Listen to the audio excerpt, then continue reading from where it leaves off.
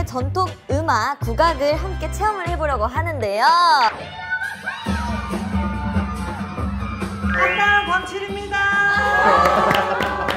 진짜 독일에서 너무 행복했던 경험인데 말씀드려도 될까요? 여기 재밌는 게 잘 없어서 난리가 쓸 거예요. 이 정도 기계는 얼마 정도 가격? 아까부터 가격을 그렇게.